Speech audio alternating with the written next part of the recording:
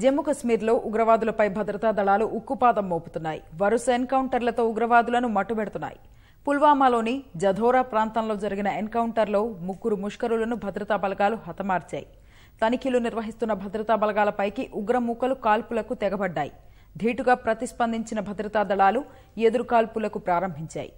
ఈ కాల్పుల్లో ముగ్గురు ముష్కరులు హతమవగా ఓ జవాన్ తీవ్రంగా గాయపడ్డారు. ఘటన జరిగిన ప్రాంతంలో గాలింపు ప్రక్రియ కొనసాగుతోంది.